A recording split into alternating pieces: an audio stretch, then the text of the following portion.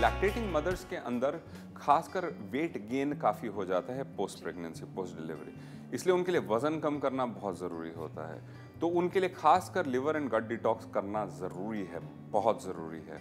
उसके साथ साथ वो प्रोटी ओमेगा लें, उससे प्रोटीन जाएगा, ओमेगा थ्री जाएगा, जो बच्चे की डेवलपमेंट के लिए होता है। अगर वो चाय लेना चाहें फिगर एंड शेप की तो उसको ले सकते हैं, उसको कोई नुकसान नहीं होगा बच्चे को।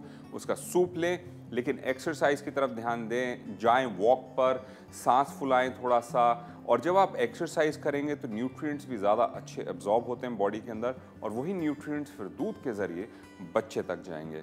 तो इस प्रोसेस को फॉलो कीजिए और जब रिज़ल्ट आने शुरू हों तो हमें ज़रूर बताइएगा। Lose weight easily without any extra efforts understand the sense of weight management to subscribe to doctor ji wellness YouTube channel